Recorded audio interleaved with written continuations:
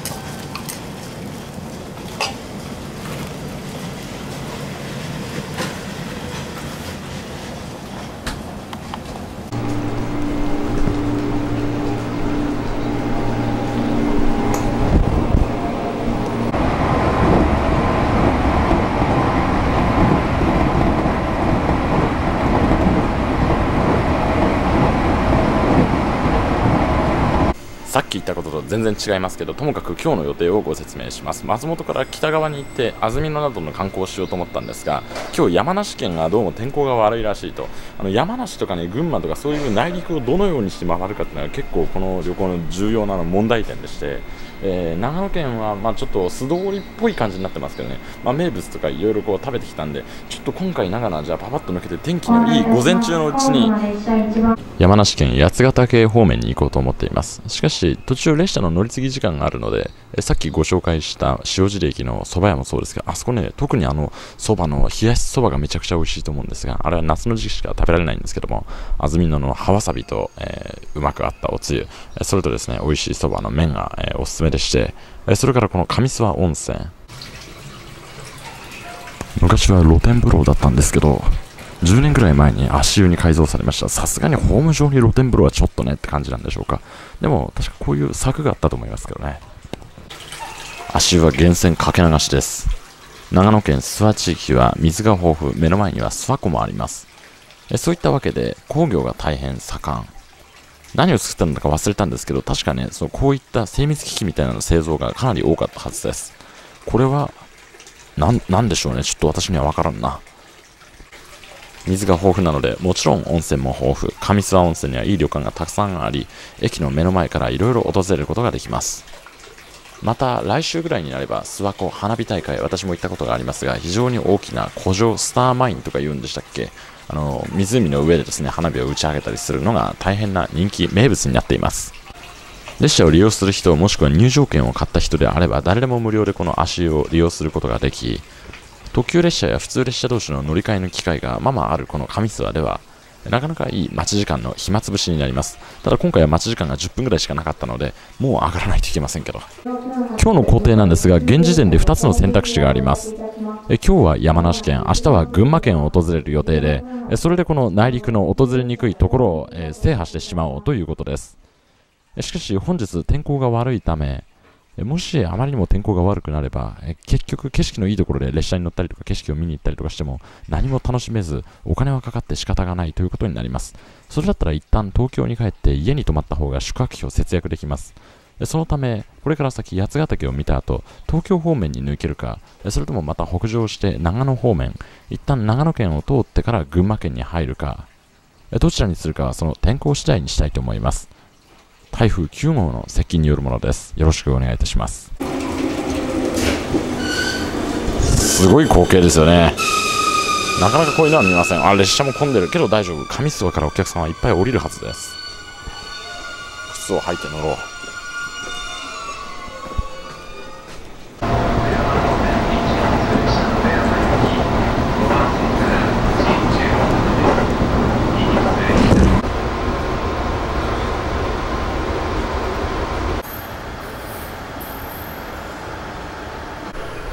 中央本線小淵沢駅に着きました。まだとりあえず雨雲よりは先についています。あそこに八ヶ岳雲がかかっていますが多分あれはねこれから毒と思うんですよ。本日湿った空気が流れ込むために八ヶ岳周辺に自ら雲が発生するということでどこかから雨雲が流されてくるわけではないんですがまあ多分この様子であればあと12時間ぐらいは好天が続くものと思います。こんなこと言っちゃ申し訳ないですけどよほどのことがない限り雨でも楽しい観光地というのはありません。特にこういった山海の景勝地ではなおさらです。まあ、そういう時は博物館とかねあのお寺巡りとかすればいいのかもしれませんけどやっぱり山梨県に来てこの雄大な美しい山を眺めず何をするか。このために逃れてきてよかったと思います。から乗り換える路線を小海線と言います。景色が極めて優れていることで知られる路線でまた JR の全ての路線の中で最も高いところを走る高原線としても知られます。合宿の高校生でしょうか大学生でしょうかなぎなたみたいなのを持ってなぎなたつかないかな弓道かな、えー、みんなで乗り込みました。ああいう団体であればまとまって座ってくれるので座席にはまだ余裕があるはずです。列車には八ヶ岳高原列車と書いてあります。昔だあのどういう列車にもねああいうサイドボードっていうのを横にくっつけてたんですけど、えー、それをイメージしてこの列車にも昔の雰囲気を演出してくれてるわけですね。観光客の多い時にだけ運転される臨時の列車です。ホームでは甲州名物の信玄餅を買いました。あとお茶。レシートがこれですがこれでは何のレシートなのかわからんな。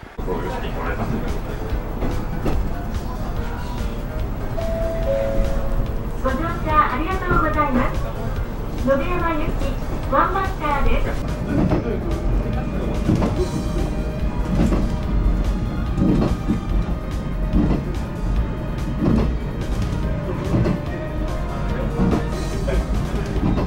この小海線は景色が優れる路線であると知られる一方で安出が大量発生する路線としても有名です。毎年秋だったと思いますが安出があまりにも大量に発生し列車が引き潰すとえその油で線路がツルツルに滑ってしまうものだからこの急な坂道を登ることができず運転ができなくなるという日が何回かあります。JR からの沿線案内これは非常に助かります。私の降りようと思っている駅は山梨県清里ですがこの列車の終点延山は長野県です。その途中に JR で最も高いところにある鉄道最高地点の碑があります。ここにありますこれ延山電波観測所と書いてありますがこの辺りは大変空が綺麗で昼だけではなく夜も美しい景色すなわち星空が眺められることで有名です。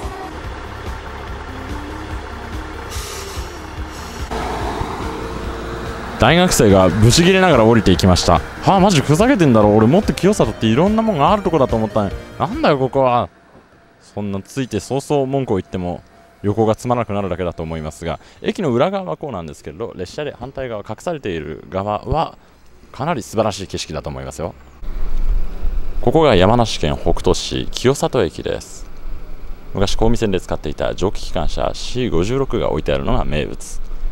この駅の周りはバブル前ぐらいからとんでもないブームになったそうでバブルと清里ブームがもう相まってとんでもない地価高騰を招いたようでえー、壺500万円さっき調べたらねそう出てきました。びっくりだな500万、えー、それが今では壺3万円まで落ちているそうです。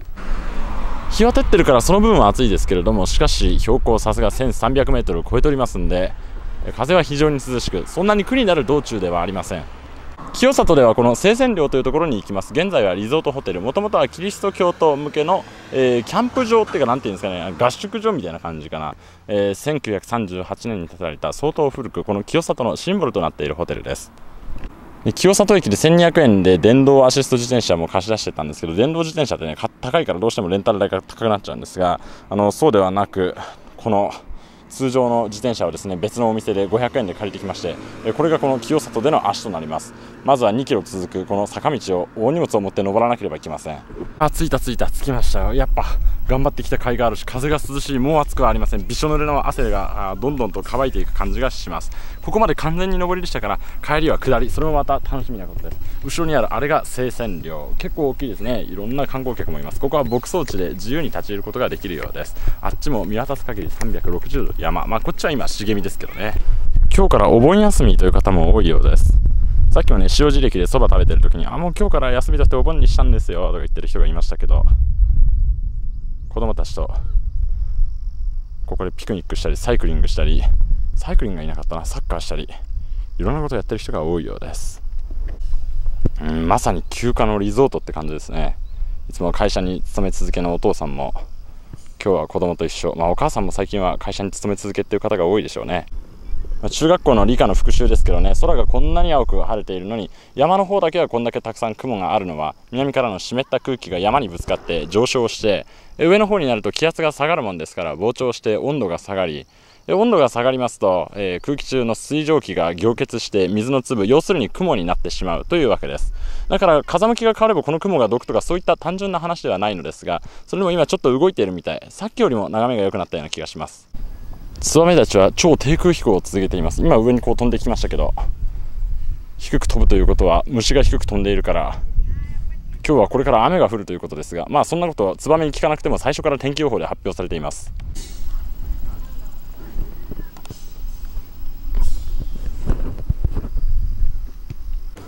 ただまあやっぱり花より団子というわけで実際花の下で団子を食べるから美味しい。それがお花見なんだと思いますがこの名物ソフトクリームここへ来た一番の目的はこれを食べることです。相当美味しいらしいけど確かに色が違うもんな。黄色いですからね。多分これ見ればわかるでしょ色の違いも。うん。これマジで美味しいよこれ。うん。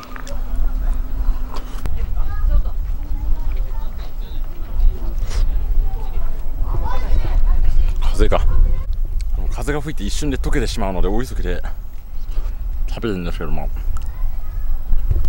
まあ、私の表現力が乏しいばっかりに他の何かをけなさないとこのソフトクリームを褒めることができないんですがマクドナルドの100円のソフトクリームとはねもうね比べ物にならないというかそんな比べちゃ失礼というかもう二度とあんなものは食えないですね。そういう味がしております。通常ソフトクリームというのは食べ始めてから食べ終わるまでに飽きるものですがあの飽きずにもうここまで来てしまいました。もちろん食べるのに忙しいからということもありましたけど本当に美味しいんだなこれ。ボジョレ・ヌーボー的な表現で申し訳ないんですけど今まで私が一番美味しいソフトクリームだと思っていたフラノのあの素晴らしいラベンダーソフトクリームを超えてしまったかもしれない。そういう味ですよ。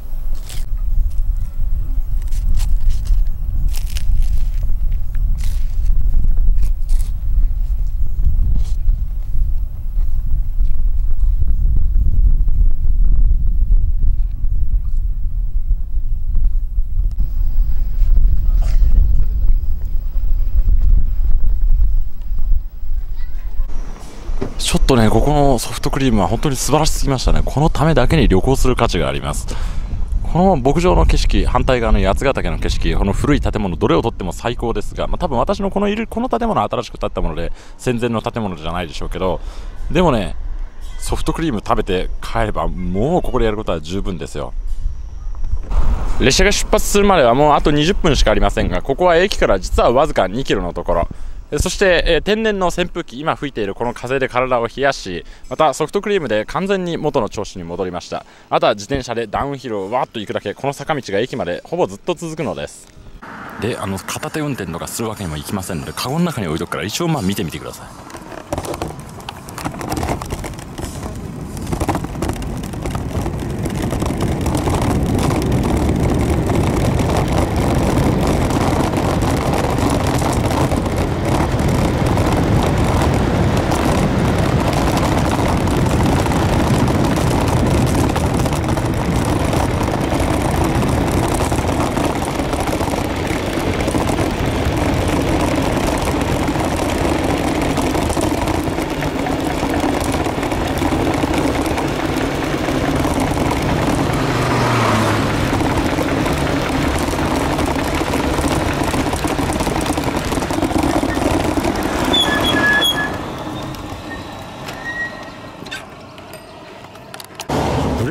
が悪くて止まるのに20メートルくらいかかってちょっと心配なんでゆっくり行こうと思います。すいません。行きは20分ぐらいかかったのですが帰りは5分で帰ってくることができました。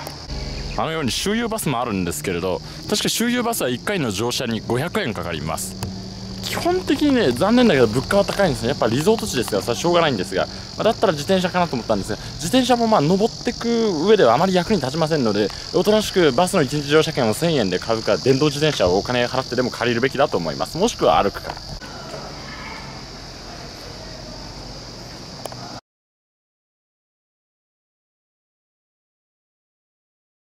はい、皆さん今から安手を拡大して映しますので気をつけてくださいね。嫌な人は目を背けておいてください。はい、こちら、黄色い線の上におりました。こちらが、小海線名物の安手。まあ、このぐらいであればそんな気持ち悪くないかなと思いますけどね。足を器用に両方揃って動かして可愛いもんですが、これが秋の時期になると大量に発生して線の上にビチッと並び列車が運行できなくさせてしまうようですおもうすでに出始めてるなここにもいるしえー、それからここにもいるし、なんか道に突っかいたいですね。ここでは潰れちゃった安手がいますね。かわいそうなことですが、ここでもなんか潰れちゃってるな。安手。いっぱいいるぞ。ここも安手。ホーム上は安手だらけ。まだこんなのはマシな方ですけどね、もっともっとこの何十倍も出るんじゃないですか。歩いていくところは本当に全部安手です。でもうとっくに10時は回ってるんですが本日の予算なんですけれども昨日夜皆さんにお話したように YouTube のバグでですね再生数をリアルタイムに正確に確認することができなくなっていますでとりあえずこれも少なめに出るんですがここにですね6万回と書いてあってこれよりね実際もっと多いはずなんですけどあのー、まあ、1時間ちょっと過ぎているということもあるので、まあ、さっきもねあの5万9000とかだったんですが、まあ、なので今回の再生数は6万回をベースにちょっと計算させていただきたいなと思いますなので今回は8000円を予算としますま、この時間帯だと大体1時間1000回ぐらいしか再生されませんので、あのそんなにね、今の数値、あの誤差はないはずです。まあ、ずるくあの私がお金を使いすぎているということはないと思いますので、ご納得いただければなと思います。ちょっと困りますけどね。乗る列車はこれです。ハイレール13755。JR 東日本が週末だけ運行する別の追加料金を取る観光列車です見えなくなるまで手を振って見送ってくれるようです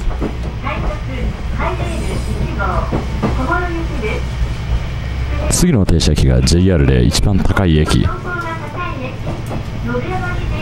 私が自分で喋るまでもなかったですね。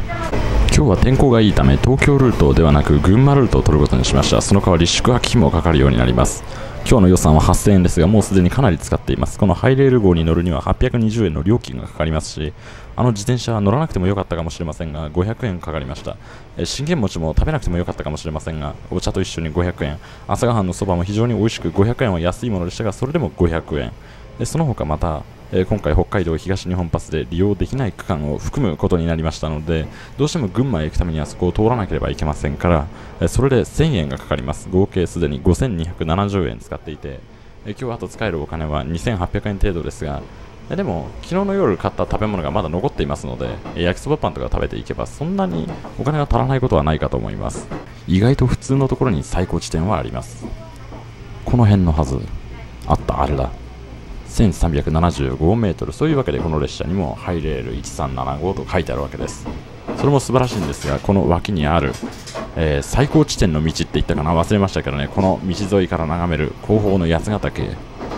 最高の晴れ具合ではありませんがしかし夏らしい入道雲というんですかねあれは違うかもしれないけれど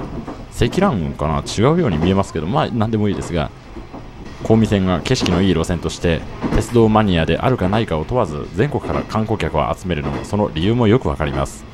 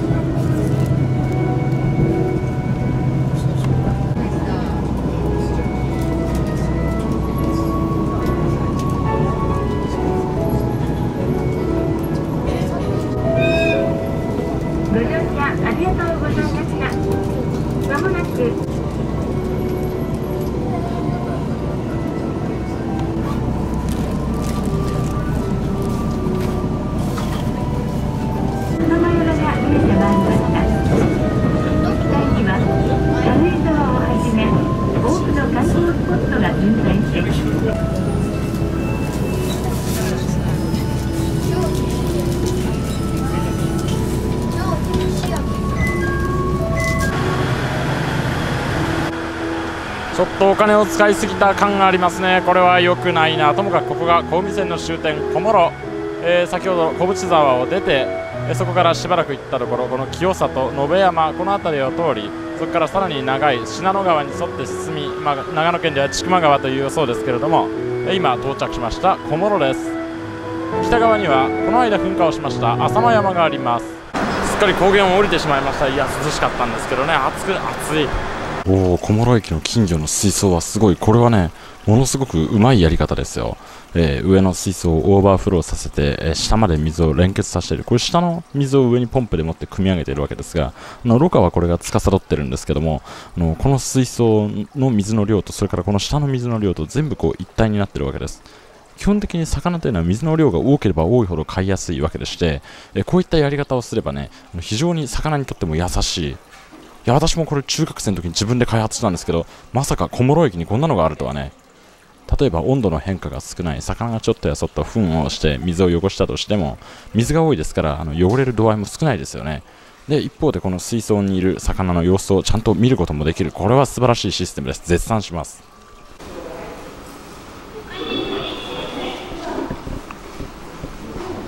駅前にはずらっとホテルなど建物が並びこの駅もかなり大きい方です。この小諸は新幹線長野新幹線が私の生まれるちょっと前にできたんですが、えー、その開業までは特急電車もほとんど全てが止まる非常に重要な駅でした。現在はというと残念ながらそれほどでもありません。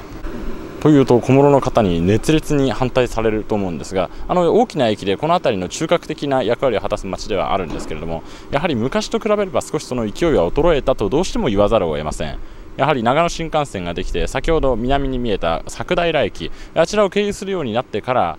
どうもお客さんの入りが少なくなったようです。長野新幹線を作るとき、もともと軽井沢よりも西側は、まあ、この今通っているこの線路をちょっと改造して、速い新幹線を走らせる、あの山形新幹線の新庄駅を皆さんもご覧になったと思います、このシリーズでね。でその時に、その新庄駅に普通に新幹線が他の電車と同じようにやってきたのが見えたかと思うんですが、ちょっとした改造程度でそこに引き続き列車を走らせる計画でした。ところが1990年に長野オリンピックの誘致に成功しましてそれからは長野にもっと早く行ける新幹線を作らなければ在来線をちょっと改造するぐらいじゃだめだということでフル規格非常に速く走るしっかりとした新幹線が作られることになりました。そうすると今通っている線路を走らせるわけではなく新しいルートを作る。そしてこの小諸周辺は見てわかるかな？結構山がちなんですね。坂道を嫌う新幹線にとってこういった場所はやはり通すのは難しくなるものです。それでも通そうという話もあったんですがちょうど折からのバブル崩壊で用地買収も難しく土地の傾斜もなかなか厳しくそしてこの先にあります海湖園という。これですけれども昔小諸城があったその跡地。小諸のシンボルとされているこの場所も新幹線を作ることによって土地を少し削らなければならないということが明らかになると小諸でもちょっとそれはやめてほしい。市長を中心に反対ということになったんだそうです。私の知る限りではまあこのようなわけでじゃあもう小諸側も開港園のために新幹線いらないんだったら通すのやめましょうと言ってえ南側に新幹線を通すようになって現在に至ると。どうもそういうことらしいんですが、まあ、それがこの小諸にとって良かったか悪かったかはちょっと私は分かりませんけども、まあ、ともかく、えその関係で、え現在でもこの小諸の名称開公園昔を懐かしむ園と書きます。廃公園がこのように残っております。小物の代わりに南に作られた駅が新幹線佐久平駅。その1つお隣は上田駅ですが新幹線の上田駅の目の前にも上田城がありましてそこは真田氏の居城。天下分け目の関ヶ原の戦いの時徳川家康の跡継ぎ秀忠は上田城を攻略するために、この小諸城に今日構えたそうです。今日構えたってのおかしいな。え陣を、えー、築いた。まあそんなところでしょうか。陣を布陣したそうですね。で、この石の上にですね、腰掛けたということで、ここに、憩い石と書いてあるんですが、あの、なかなかですね、あの、真田軍もうまくやりまして、え結局徳川秀忠は、あの、関ヶ原の戦いには間に合わなかったんですね。真田軍も負けてはしまったんですけれどもあのなかなかうまく戦ったんだなということですね結構大河ドラマなんかでもよくそんな話が出てきます開公園。これいつからのものかな？お、庄司家里書って書いて、これあれですよね、あの、慶喜の跡継ぎですよね、家里って。あの、明治時代に東京電力の社長かなんかになった人じゃなかったっけ？本当はねあの庭園の中も全部見ていきたいところなんですけども、え入園400円もう交通費に取られてしまって、ね、お金がほとんど残っておりませんので、えちょっと今回はあの入るのは控えようと思うんですがイエスタとの書が飾られ開港園のシンボルとなっているこの三の門それから街中にある大手門その2つがこの小諸市および小諸城市のシンボルでしてそれら2つは入場料を払わずに見ることができてしまうんですね。ちょっとそれはあのこんな情報をあまり教えない方がいいのではないかというような気もするんですがあの一応ですねあの今回もあの私の、まあ、知識の価値ということでえまた今度時間に余裕のある時に来たいと思います。お金にも余裕がある時にね。あそこに穴が開いておりますがあそこから一応鉄砲を突き出して、えー、敵がやってきたらば撃つということをやっていたそうです。信越本線の地下道をくぐってすぐ行ったところに大手門もあります。2つある重要文化財のもう片方大手門これもまた無料で見られてしまいます。さっきの門については、えー、昭和時代だったかな？あの新しく作り直したものなんですが、えー、こちらはもうずっと昔からのもの、えー、明治時代の後だったと思いますが完全に使い終わった後に江戸時代の姿に復元工事ということはやっています。あっちも昭和に作ったって言っても昭和1桁とかそれぐらいのすごい初期だったと思いますんであのそんななんかありがたみのないものという感じでもないでしょう。貴重な大手門はタダで入れるみたいですよ。なぜこんなに何でもかんでも大事なものばっかりタダにするんですかね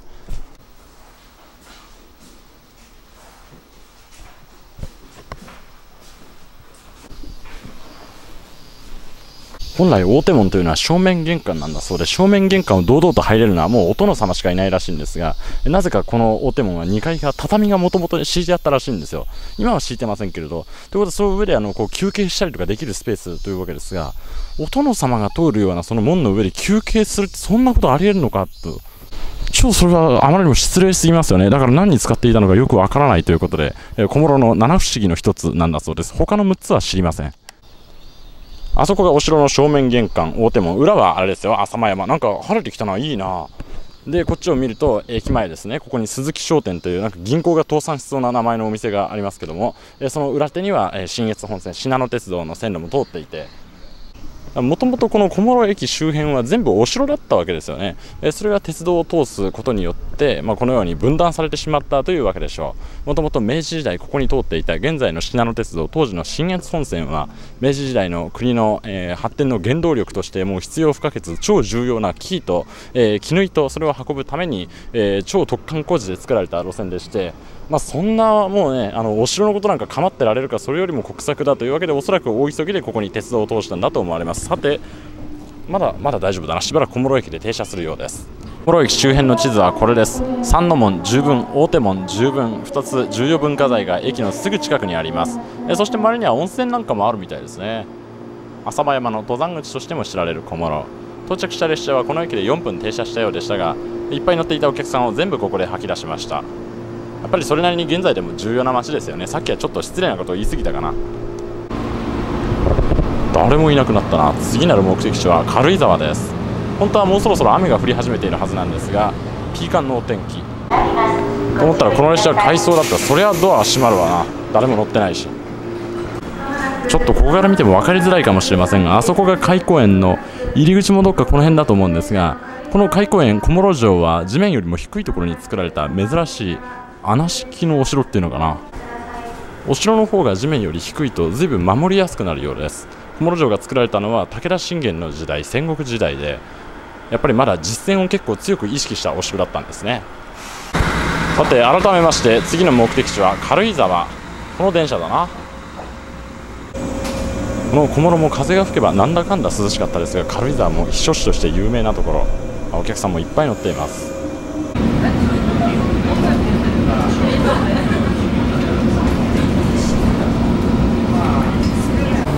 き続き長野県らしい車窓。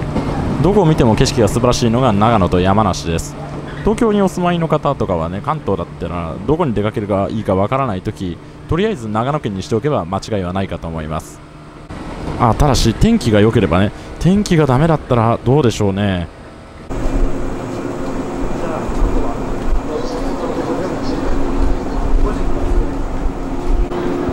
軽井沢に到着。ここは別荘地観光地リゾート地として有名ですがそれ以上に峠の町です。これより先は群馬県になります。長野県の入り口ということでここにはいろいろ長野県各地の観光案内広告が出ています。信州小布施長野から30分ほどで行けるところ栗が名物でここで食べた栗のおしるこはねもう死ぬほど美味しかったね。あれはまた食べたい。今回も実は訪れたいと思っていたのですができませんでした。お隣長野市、まあ、これは説明不要ですが善光寺。今回はやはり雷で行くことができませんでした。松代城跡。他にも近くに松代大本営というのがあって太平洋戦争の終わり本土で決戦をした際には天皇陛下をそちらにご避難いただく。そういった施設として作られたものは使われませんでした。千曲市というのは、えー、おば捨てとかがそうだったかな確か。いや違うみたいだな、ちょっとここはね、私も訪れたことがないので、またあのしっかり行って楽しもうと思います。良さそうですね、戸倉上山田温泉。へえ、綺麗だ。杏ズなんとかの里。14時から雨予報、ついに雲もこんなに出てきましたが、しかしまた日が出てきました。うん、まだ大丈夫、なんとかなるでしょう。ここにあるこのこれ電車なんですけど電車っていうかあの機関車なんですけど昔はここから草津温泉まで、えー、鉄道が伸びていまして列車で行くこともできたんですね今でも西武バスが通っています前に並ぶのは不動産屋さん。こういった別荘地に来ると駅前には大抵不動産屋さんがあってそこで別荘の品定めなどをすることができます。軽井沢は一流の別荘地。しかしそういう風になったのは割と最近のことです。軽井沢というのは江戸時代碓氷峠を登りきったところにある中山道の宿場町として、まあ、栄えたといいますか宿場町だったんですが明治になってから宣教師キリスト教の人があこの軽井沢っていうのはなんていうこんな涼しくてここは夏になったら別荘でも作ってみんなここへ来なさいみたいなことを言ってですね、えそれでみんなあ軽井沢というのはいいところなんだ、え今日のこのようにぞろぞろぞろと皆さんこれは社員のご旅行のようですけれども、えこんな風にですねあの軽井沢に寄ってたかってくるようになったと、ま、そういうことです。どっかで聞いたような話。先ほど通った清里高原。あそこもまたキリスト教の施設聖戦争が現在の発展のその切り口になったというわけでした。本当に大人数だ。すごいな。あれはみずほって書いてあるけどみずほ社員案内板頼むから土日もね土日じゃないや3連休も ATM 使えるようにしてくれよなと思うんですがそれは多分みずほ銀行としてもなんとかしたいと思ってるでしょうし、まあ、この人たちが全員、えー、ATM とか管理してる人たちかっていうと多分全然違う人たちばっかりでしょうからね。あのこの人たち自身も使えるようになんねえかなと思ってるかもしれません。私は初めて来たんですけども軽井沢駅の裏手に来ました。軽井沢でお金を使わずに何かを楽しむというのはまずもって不可能ですがあここでも随分人工的な割にはいいな。これがアウトレットプラダって書いてあるな。プラダってあのお財布のやつでしょ。前私もあのもらったやつ使ってましたけどちょっとねあのやめてしまいました。さすがにブランド物はあの身の丈に合わなさすぎるということで、ね、私はあんまりそういうものは好きではありません。まあしかしあの軽井沢に今そういうもの好きな人たちがたくさん来てると思うのであんまり悪口を言うのはやめておこうと思います。でもいいねこれ。多分わざわざ掘ったんだろうと思うんですが元からここにあった池なのかな。勝負みたいなものがこううまく周りにこう生えてたりとかですね。あまりにも整然としてるのでおそらく整えられたんでしょうね。でもいい雰囲気でです本日は金曜日、明日からお盆休みという会社もあれば、もう早いところは今日から入っているのかもしれません。夏の暑い時期、軽井沢避暑地はもう賑わいの限りを尽くしています。あ、裏手は全部プリンスホテルの土地だったんですね、え西武グループ。軽井沢では結構強くて、え東京から2000円ぐらいでバスで来ることもできます。もちろん新幹線ではそんな安い値段で来ることはできませんが、その代わり所要時間は極めて短く、上野駅から1時間です。外国人観光客からの人気もあり近頃では特に中国人が多いのですが米人とか上海はないみたいだな。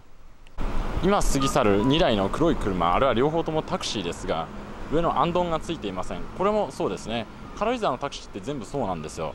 なんかねすごいお金持ちの人になるとあの上にタクシーのアンドンがついているのは嫌がるんだそうでそういう人向けのタクシーは取り外せるような仕様もあるそうです。全然その気持ちは分かりませんがどう見たってタクシーがタクシーで変わらないのにね。軽井沢町のタクシーは大体がそういう仕様になっています。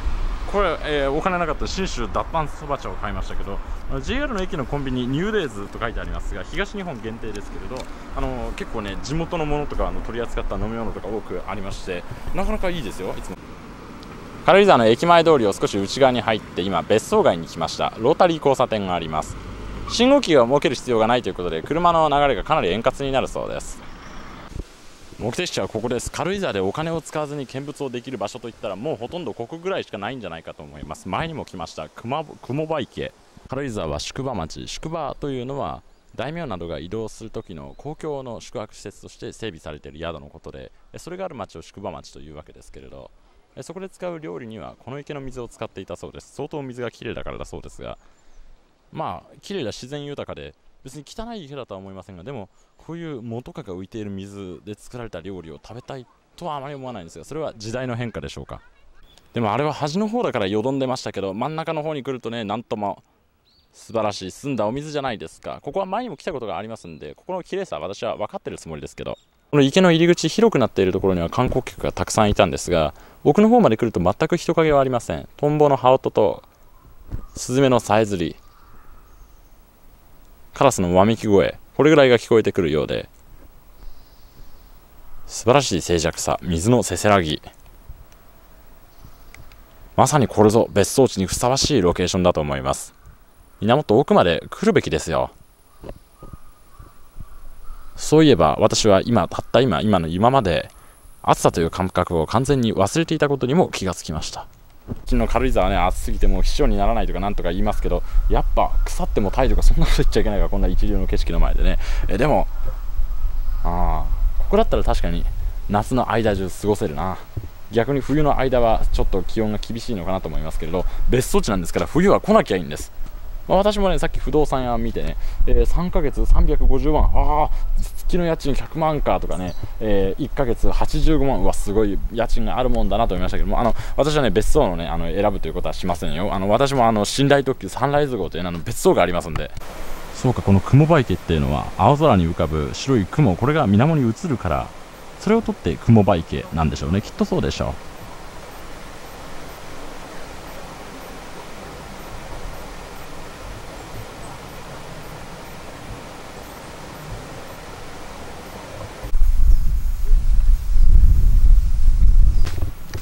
天気予報が外れているかと思いきや今まだ日は差していますけれど雷が鳴り始めましたよ。積乱雲が生まれ始めたってことですね。積乱雲はあの急激に湿度があの湿度というか湿り気がバーッとこう送り込まれてきた時に、えー、急に発生する、えー、突然ものすごい雨を降らせる雨雲ですけれど、えー、今から軽井沢駅まで急いで歩いて20分。それまでは天気が持ってくれるといいな。その後は知りません。私は濡れないからね。軽井沢の別荘地っていうのは大体こういう風な雰囲気です。木々の木立の裏側に隠れつつちゃんと日を浴びるようにうまくやってんだな。ちなみにあの日本赤軍が起こした立てこもり事件、浅間山荘事件の浅間山荘ってどこにあるのかな、まあ、あれ軽井沢じゃないですか、思ってみたらですね結構南の方にありました、すごい遠い、こんなところにあったんですね、群馬県との県境近くで他に何があるのかな？みたいな感じですよ。あの浅間山荘は鉄球作戦とかで壁をボコボコに壊しまして、えー、その後ですねちゃんと再建されたんだそうです。でそれで現在でも同じ場所に、えー、別の会社のですけれどもあのヤマハではないんですが、えー、別の会社の別荘みたいなものがあってですね外国の法人らしいですけどね、え現在その周辺は全て私有地になっているので普通の人はちょっとあまり近づかない方がいい場所なのかなと思います。まあ当たり前っちゃ当たり前なんでしょうけどやっぱり別荘エリアもね道に近い立地のいいところの方が特にいい建物が建ってるんですよ。うわおしゃれ綺麗で新しいなえこんなとこに住んでお金かかるんだろうなみたいな家が、えー、今メインストリートのすぐ近くに来てるんですが結構多いですね。それに対してそのメインストリートから結構離れてくるとだんだんですね。あなんかこれ普通のうちだな。あこれだったらなんか一軒そんな別に超高級住宅って感じでもないなみたいな感じで変わってきます。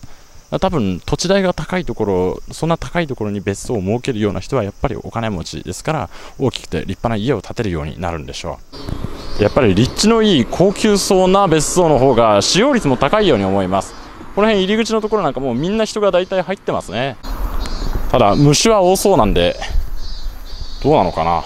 いろいろと掃除とかも大変なところもあるんじゃないでしょうか。それじゃあなんだかんだ好天に恵まれ思った以上に楽しむことができました。長野県もこれで終わり。次は薄い峠を下りまして群馬県高崎を目的地とします。おさっき軽井沢駅に着いた時にご紹介したあの小布施の栗。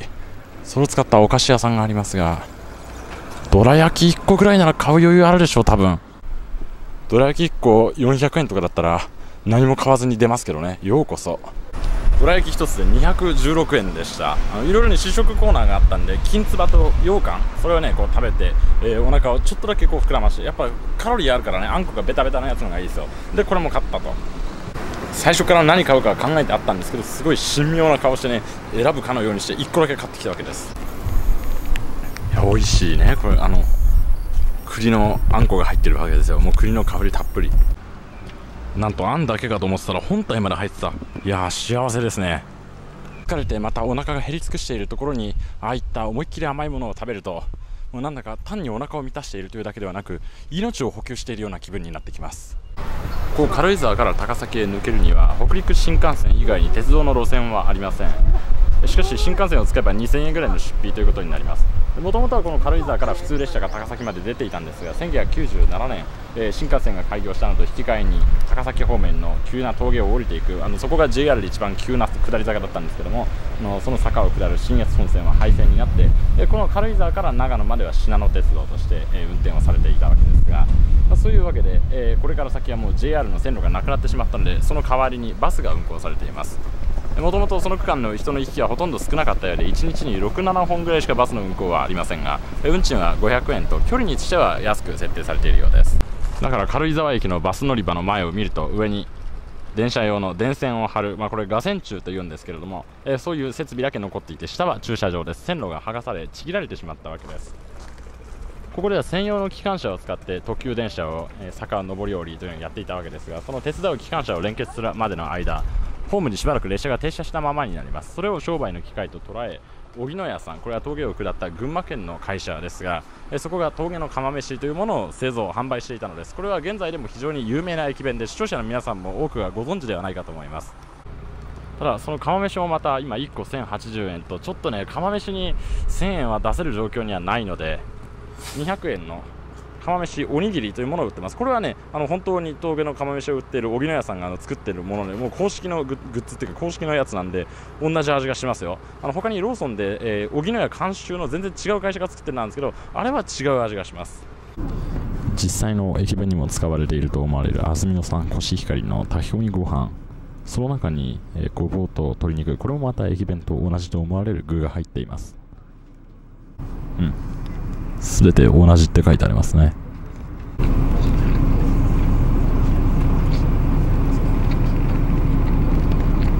道路上お客様にお願いをいたしカードが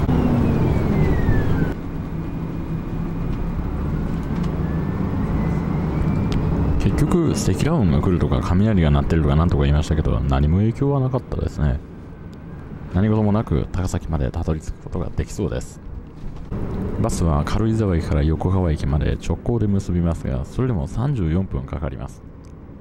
こんなバスなかなかないですよ。駅と駅は間どこも止まらずに。それは途中止まる必要もないからです。私が確か大学に入ったばっかりの頃だったと思いますが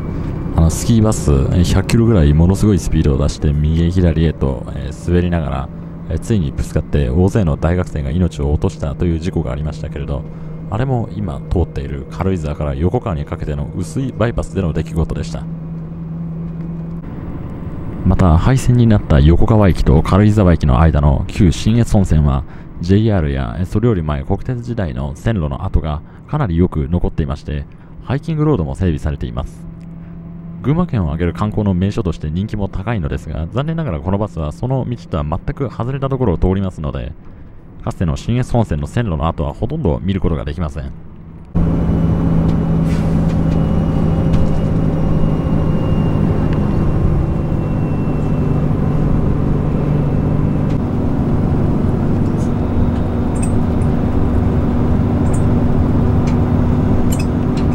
しかしその往年の信越本線からも見えていたと思われる妙義山の眺めはある程度楽しむことができるんですがでも木が高すぎるか。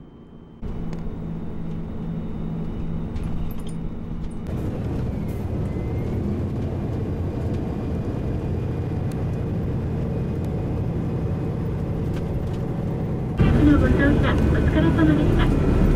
まもなく横川駅に到着いたします。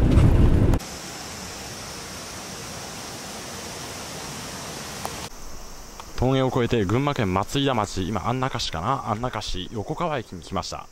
これから先は本当に JR 東日本信越本線として運行されており私の持っている北海道東日本パス今日で期限が切れるんですがこの切符も使うことができます。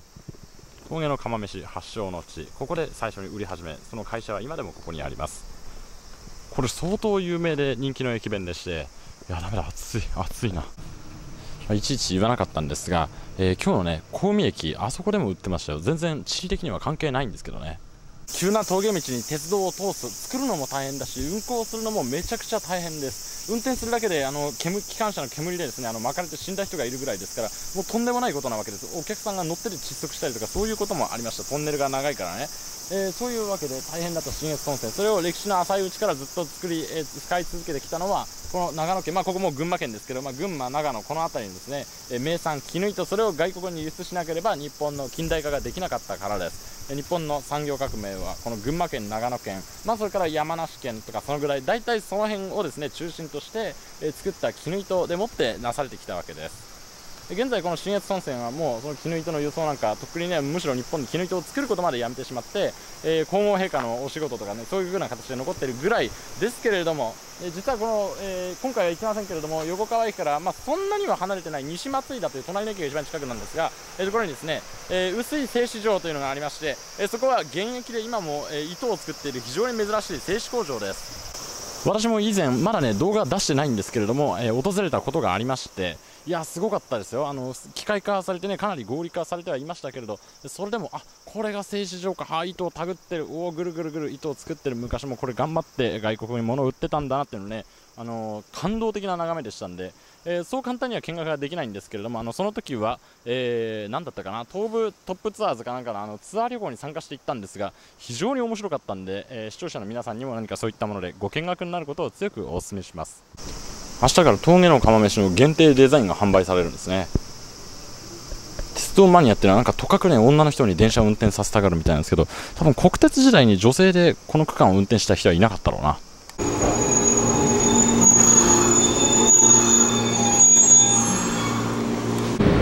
あとはもう高崎までの下り道。駅をちょっと行ったところに夏は暑くて大変ですけれどドライブインがありましてあそこであれば峠の釜飯を落ち着いて座って涼しい場所で食べることができます。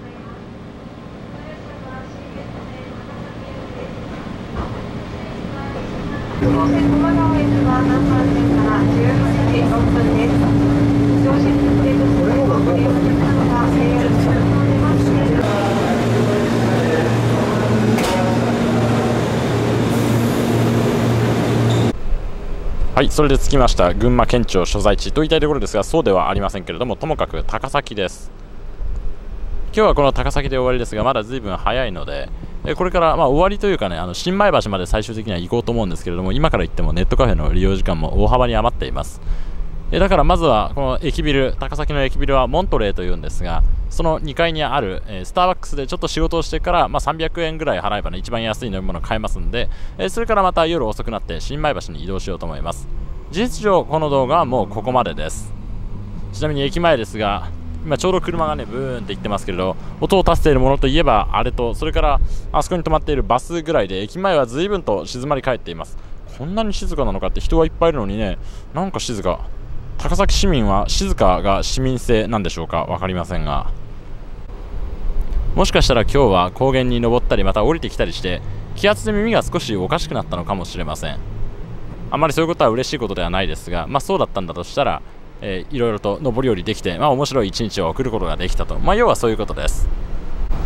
今日使ったお金はこれを見ると朝の冷やしそば、えそれからお餅、信玄餅とお茶140円、自転車500円、午前中お金使いすぎましたね、えそれからハイレールにも乗りましたんで、これがね、鉄道に乗るのにお金かかるのあんまり無視してしまって結構かかってしまったんですが、えー、信濃鉄道、横川軽井沢のバスなどで、えー、自転車、バス代、列車代で2000円以上使ってしまいましたが、まあ、しかし、えー、食べ物、飲み物系はまほとんど消費することはなく、まあ、ちょっとね、さすがにもうちょっとパンか何か夜寝るまでに食べようかなとは思いますけれども、しかし、そんなに、えー、お金を使いすぎたということもなさそうです。ネットカフェは1200円程度で泊まることができますから、そうすると、えー、この諸々の食費と合わせても、まあ、おそらくは、え2000円以上、2500円ぐらいかな、明日にお金を残すことができるでしょう。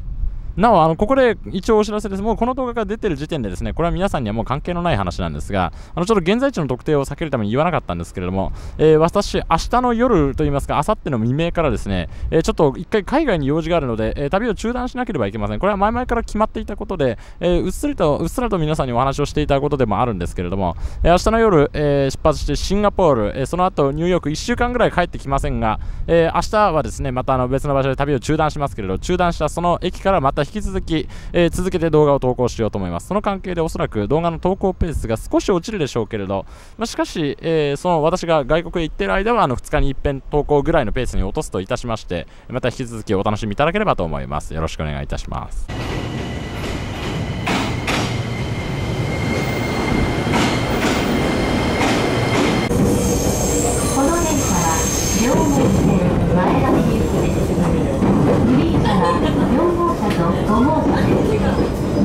ご利用の際にはグリ